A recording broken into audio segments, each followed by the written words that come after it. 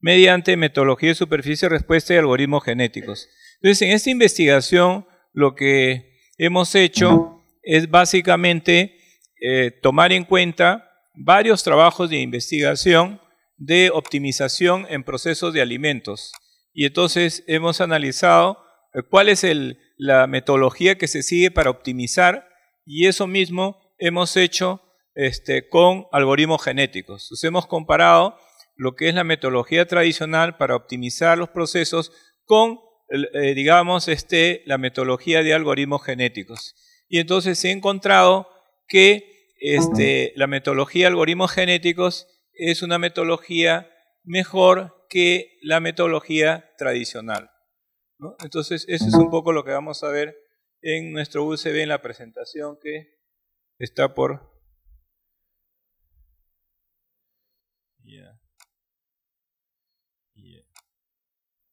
Entonces, en la metodología tradicional de optimización, lo que se hace inicialmente es diseñar un experimento y en base a diseñar el experimento se sigue lo que se conoce como la metodología de superficie-respuesta, donde se trabaja primero con eh, funciones de primer grado y después con funciones de segundo grado. Y posteriormente se, eh, las ecuaciones que se obtienen se optimizan mediante una serie de gráficos de contorno y también mediante eh, métodos, digamos, matemáticos de optimización. Entonces, esto, digamos, permite eh, obtener los óptimos, pero tiene una serie de limitaciones, porque para los métodos matemáticos se necesita que las funciones sean relativamente sencillas y que puedan tener, digamos, derivadas e integrales este, exactas, lo cual no es muy posible en muchos casos, porque las funciones, por ejemplo, de alimentos son bastante complejas, ¿no? porque tienen una serie de variables este, no controlables y controlables pero complejas. Entonces, por otro lado, en el tema de los algoritmos genéticos, eh, la ventaja que tienen es que eh, se basan en lo que es la teoría de la genética. Entonces, en los principios de Darwin que eh, trabajan lo que es este, la selección permanente de todas las especies, ¿no? Entonces, esto es la base para trasladarlo a el cálculo del óptimo. Y entonces, digamos, este, los algoritmos genéticos lo que hacen es, eh, en un primer momento, en forma al azar y aleatoria, se desarrolla una población. Esta población tiene una serie de valores como variables se tratan de buscar. Y entonces, estos valores como variables que se tratan de buscar, este, se eh, calculan los resultados con estos valores y se ve cuál es el error. Entonces, determinado el error, entonces nuevamente se ajustan esos valores este, y así sucesivamente con la computadora y miles de veces de tal forma que uno se aproxima al valor objetivo. Y entonces eso permite, digamos, eh, obtener valores este, con bastante exactitud, superior a los métodos tradicionales. Entonces, cuando uno busca, digamos, trabajar procesos complejos con, digamos, este, bastante exactitud, este, tendrían una ventaja en la optimización de los métodos con algoritmos genéticos. ¿no? Entonces, para este trabajo se trabajó lo que es algoritmos genéticos con el software MATLAB. Con este software se procesó toda la información y se calcularon los óptimos. Y entonces se ve cómo es que eh, tienen valores eh, con mucha más exactitud y también pueden calcular una alternativa de posibilidades, cosa que no se puede con los, con los métodos tradicionales. Bueno, entonces el título del estudio es Comparación de optimización del proceso de elaboración de alimentos mediante la metodología de superficie, respuesta y algoritmos genéticos. Entonces, el equipo de investigación, eh, el que habla, el doctor Ceballos, los miembros, el ingeniero magíster este, Luis Raez y la ingeniera magíster Rosemary Maita y los colaboradores, los estudiantes Patricio Acuña y Cutipa. En resumen, esta investigación desarrolla una comparación entre la optimización con la metodología de superficie-respuesta y los métodos tradicionales con la metodología de superficie-respuesta y la optimización con algoritmos genéticos. La comparación se realiza con base a un caso de secado de alimentos. Se busca optimizar procesos que tengan varias variables y entre las variables se presentan relaciones complejas. Lo que con dificultad se realiza con métodos tradicionales de optimización es superado al utilizar las cualidades de los algoritmos genéticos. La metodología propuesta tiene tres pasos, establecer el diseño experimental y obtener los datos, luego calcular las ecuaciones de regresión y finalmente optimizar con métodos tradicionales y con, algoritmos genéticos. Para los cálculos se utiliza el software MATLAB. La principal conclusión es que la combinación de la metodología de superficie-respuesta y los algoritmos genéticos permite optimizar el proceso de manera superior a los métodos tradicionales. La introducción se hizo una revisión de información. Lo principal es lo siguiente. Montgomery plantea la metodología de superficie-respuesta es un conjunto de técnicas matemáticas utilizadas en el tratamiento de problemas en los que una variable de respuesta de interés está influida por varios factores o varias de carácter cuantitativo. Para este propósito, se diseña un experimento que proporcione valores de la variable respuesta y a continuación se determina el modelo matemático que mejor se ajusta a los datos obtenidos. Luego se establecen los valores de los factores que optimizan el valor de la variable respuesta. La metodología de superficie-respuesta. Los pasos que se siguen para optimizar un proceso con la metodología de superficie-respuesta son selección del proceso, caracterización del proceso, ajuste del modelo de primer orden, determinación de la ruta de ascenso más pronunciado, ajuste del modelo de segundo orden y diseño del proceso robusto. En el caso de la selección del proceso, se realiza con participación de eh, los trabajadores del proceso, se les seleccionará uno o varios procesos a optimizar. La caracterización del proceso consiste en revisar las actividades que se desarrollan para realizar el proceso y con base a ello se define de manera exploratoria un conjunto de factores que influyen en la respuesta que se espera obtener. Seguidamente se aplica el análisis factorial a efecto de determinar los factores significativos. O sea, esto es parte del segundo paso, ¿no? Selección, caracterización. Después tenemos el ajuste del modelo de primer orden, consiste en aplicar la técnica de diseño experimento factorial fraccional de primer orden para determinar los parámetros iniciales del proceso de instituto y relación. La determinación de la ruta de ascenso más pronunciado consiste en determinar la ruta de ascenso más pronunciado para la mejora y se realizan sucesivas aplicaciones en dicha ruta de mejora hasta llegar a un punto de inflexión. Entonces, este es un ejemplo del modelo de primer orden. Aquí, digamos, tenemos el conjunto de variables independientes. Después tenemos el ajuste del modelo de segundo orden. Consiste en aplicar la técnica de diseño de experimento factorial fraccional de segundo orden y se calcula la ecuación canónica del proceso para determinar los parámetros optimizados del proceso de interrelación. Entonces acá tenemos las variables de primer orden, de segundo orden y también de segundo orden combinados de las dos variables. Esto digamos en el caso que se tuviera una sola variable de salida, pero podemos tener más variables de salida.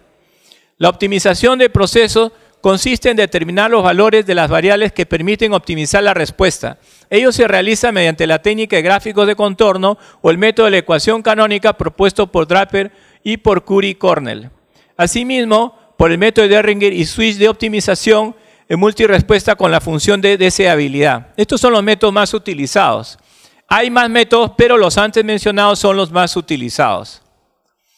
La principal limitación de este método es que el cálculo de los valores óptimos es muy complejo cuando se tratan de varias respuestas que tienen funciones de mayor orden al primero. Entonces el error es alto y por otro lado se tienen limitaciones para determinar los diversos valores de la superficie que contiene las respuestas que optimiza el, respectivo proceso. Justamente ello se trata de superar mediante el presente trabajo. Para tal efecto se ha seleccionado la técnica de algoritmos genéticos. Los algoritmos genéticos los algoritmos genéticos son procedimientos de búsqueda que emulan el proceso de evolución de la naturaleza, como lo explica la teoría de Darwin. Esto es planteado por Álvarez, Holland, Goldberg y otros. Se basan en la supervivencia del más apto, la reproducción y la búsqueda de nuevas soluciones en cada etapa o generación. Una solución se codifica en un cromosoma. El, el modo de codificación más frecuentemente utilizado es la codificación binaria. Los algoritmos comienzan con una población de soluciones generada de forma aleatoria o por un procedimiento de siembra. Esta población es representativa del espacio de soluciones factibles. El tamaño de la población depende de la naturaleza del problema. Generalmente una población inicial mayor aumenta la posibilidad de explorar el espacio de soluciones. El algoritmo evalúa la calidad de cada solución con la función de ajuste. Con el uso de operaciones evolutivas, como la recombinación, mutación y selección, el algoritmo genético crea una nueva generación de población. El conjunto de soluciones generadas incluye algunas soluciones con buenas características que son seleccionadas para unirse a las nuevas poblaciones. Luego se evalúa la aptitud de cada individuo de la nueva población. Entonces, esta es la base de los algoritmos genéticos. ¿no? La función objetivo se utiliza directamente en lugar del uso tradicional de la información del gradiente. Por esta razón, la función objetivo no necesita ser continua, diferenciable o convexa, lo que les mencionaba, ¿no? Cualquier tipo de valores puede trabajar. Las variables pueden ser continuas, discretas y o categóricas. Todo ello muestra que los algoritmos genéticos son un método muy flexible que los hace capaces de hacer frente a una gran variedad de problemas. Solución de un problema con algoritmos genéticos. Aquí la propuesta de Álvarez utilizamos creación de una población inicial. Un conjunto inicial de soluciones o cromosomas es generado aleatoriamente o mediante un procedimiento de siembra. Segundo, evaluación del ajuste. La calidad de cada solución de la población se evalúa utilizando la función de ajuste. Tercero, la selección. Con este proceso se eligen soluciones prometedoras para pasar a la siguiente generación a expensas de otras soluciones que se consideran no adecuadas para el objetivo. De ahí viene lo que es el cruzamiento, el crossover. Este proceso consiste en tomar dos cadenas o padres de la población y la realización de un intercambio al azar de proporciones entre ellos para formar una nueva solución. Este nuevo cromosoma tiene información de ambos padres. Y así tenemos lo que es la mutación, lo que es la comprobación de si el criterio de finalización es satisfecho. ¿No? Si el criterio no es satisfecho, el proceso vuelve al paso número 3 y ese viene a ser la lógica fundamental. Casos de procesos de alimentos optimizados con superficie respuesta, utilizamos el, caso de Villar, Millán y de Cipio, estudian el proceso de producción de emulsiones concentradas de aceite de maíz en agua utilizando un surfactante no iónico ectoxilado y para optimizar el proceso utilizan la metodología de superficie respuesta. Después tenemos el, el caso de Mondragón et al. Evaluaron el desempeño de nanocompuestos de almidón termoplástico y hule natural arcilla tipo morillonita bajo pruebas de tensión utilizando una metodología de superficie respuesta. Bueno, acá está, digamos, el mayor detalle de, lo que hicieron. Después tenemos Mudahar et al. Optimizaron el proceso de secado de zanahorias utilizando metodología de superficie respuesta. Aquí trabajan con cuatro variables de entrada que fueron temperatura de secado, tiempo de exposición, concentración de biopolímero y el tiempo de blanqueo. Y se utilizan como variable de salida el ratio de rehidratación, la pérdida de caroteno y la densidad. Este, digamos, el, trabajo que vamos a presentar ahora. Después tenemos el, trabajo de Rabi y Suzgel Lama, que realizaron optimización simultánea de un sistema de respuestas múltiples mediante el análisis de la función de deseabilidad de Bondi Making. Floros y Chinan optimizaron un proceso de pelado de pimientos con metodología de superficie de respuesta considerando siete variables de entrada. La optimización tradicional se sigue fundamentalmente la metodología de Draper. Draper desarrolla el Rich Analysis eh, de superficie de respuesta para obtener valores óptimos, al cual implica trabajar con multiplicadores de Lagrange, derivación parcial de funciones y cálculo de valores estacionarios y la graficación respectiva. Para demostrar las bondades de su método, trabaja con los datos usados por GER eh, y trabaja con dos factores. Sobre el secado de alimentos, en este caso, como se va a trabajar un caso de secado, se toma en cuenta lo que es la ecuación desarrollada este, eh, al respecto por la ecuación de Page. Para el secado de alimentos se pone la ecuación de Page para determinar los cambios en el contenido de humedad de los granos durante el secado. Entonces tenemos que la humedad en el momento T menos la humedad en el, de, de, equilibrio sobre la humedad inicial menos la humedad de equilibrio es igual al exponente de menos K T a la N donde K y N son constantes específicas para cada tipo de producto. La metodología. La metodología propuesta fue de tres pasos. Paso uno, elaboración del diseño experimental, obtención de datos y definición de las variables y su rango de variación. Esto último con base a la información del diseño experimental y la calidad que se desee. El paso 2 se plantea las ecuaciones de regresión que relacionan las variables de entrada con las variables de salida. Una ecuación para cada variable de salida. Y paso 3, aplicar los algoritmos para optimizar. Después tenemos en, el ejemplo de optimización combinada con metodología superficie, respuesta y métodos tradicionales, se utilizó el trabajo desarrollado por Mudahar et al. en el caso de optimización de un proceso de secado de zanahorias.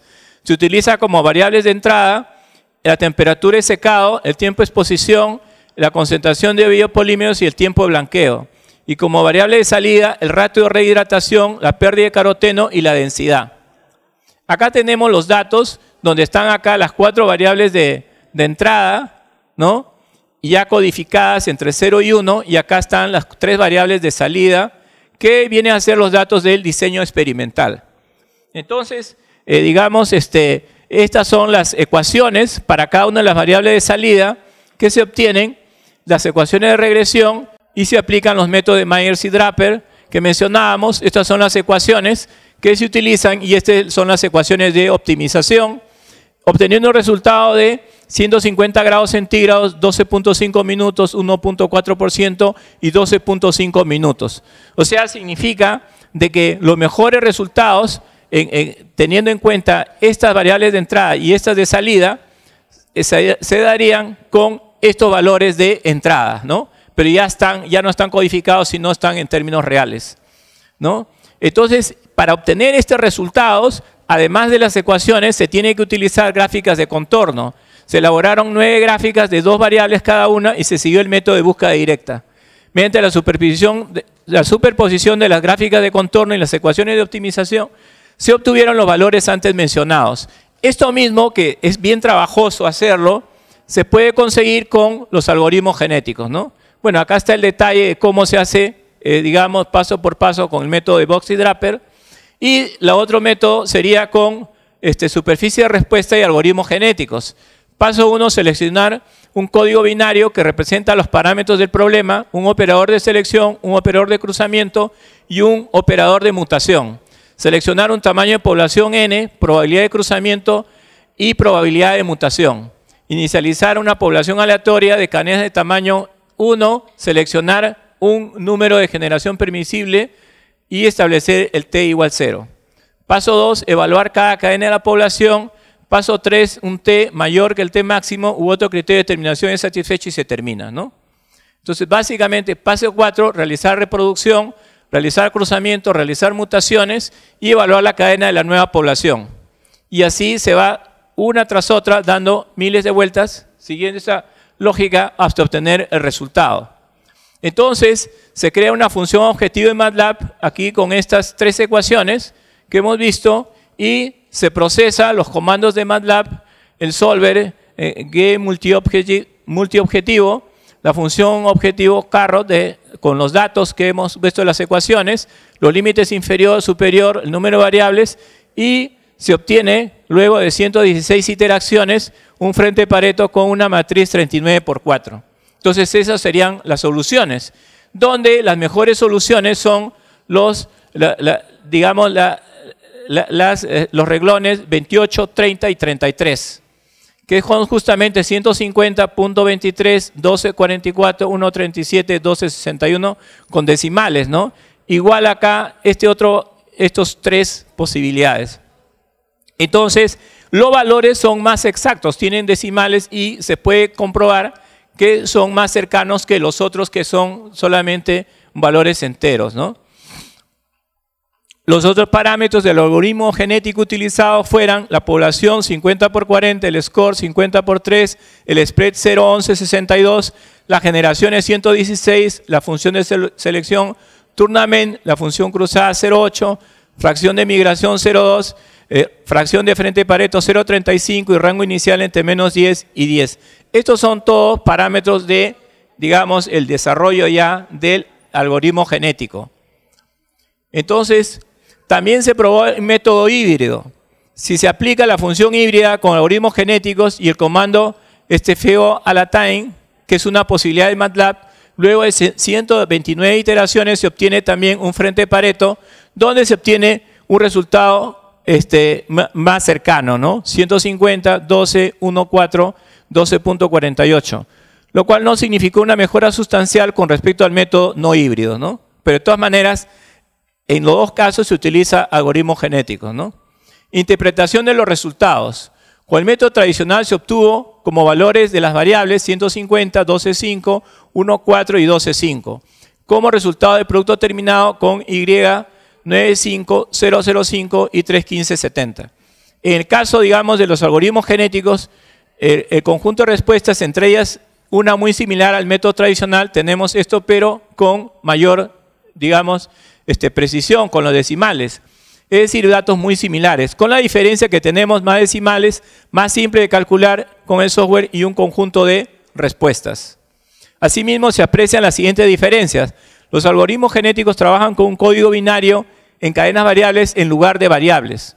Los algoritmos genéticos trabajan con poblaciones de puntos, mientras que los métodos tradicionales trabajan con un punto único.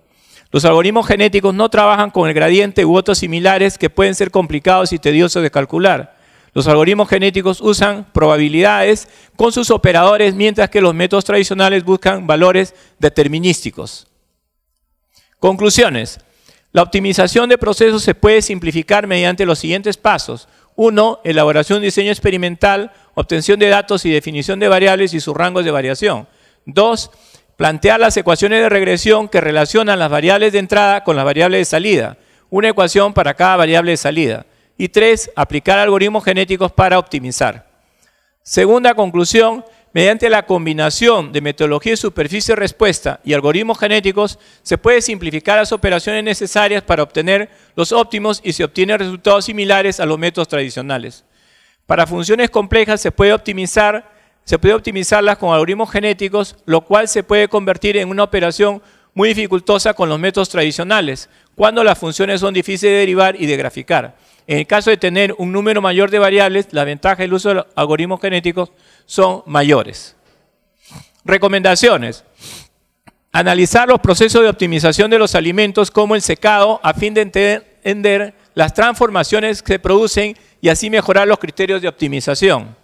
Segundo, mejorar los procesos de optimización tanto con algoritmos genéticos como con otros algoritmos que puedan explicar lo que ocurre a su interior para poder predecir su comportamiento.